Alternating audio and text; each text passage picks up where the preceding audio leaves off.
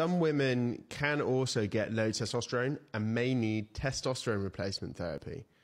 This is a growing kind of area of hormonal treatment for women, and primarily it's for women who have gone through the menopause, who tend to have a reduction in estrogen levels, but also might have a reduction in their testosterone levels. It's quite common that they do. Um, alongside that, it's actually the case that women who take the contraceptive pill have a significant drop in their testosterone levels, particularly free testosterone levels.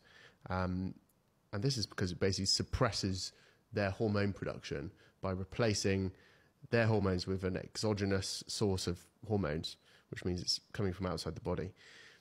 Um, so the difference really between TRT and how it affects men versus women is fairly limited. They both have a similar impact on the male and the female body. Women obviously have a lot less testosterone than men do, but women get similar kind of responses to testosterone increased energy levels, increased sex drive, they get increased recovery, better sleep, um, it improves their mood, all of the same things that kind of um, you see in men who have testosterone replacement therapy.